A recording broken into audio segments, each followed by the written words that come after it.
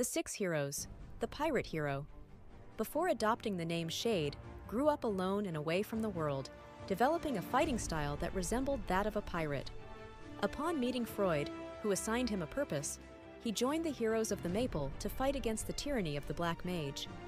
During the war, they received a letter from the demon and raided the Temple of Time. Together with Luminous, the pirate hero, they confronted Guwaru and Magnus. In the throne room, they found Afrian and Mercedes unconscious, while Freud was severely wounded. Freud proposes to seal the Black Mage using the seal stones and the time of a living person as a component. The pirate hero sacrificed himself, completely disappearing from the collective memory and any records. Luminous and Freud carried out the plan, then forced the Black Mage to use the power of time transcendence to activate the Seal of Time and seal this tyrant once and for all,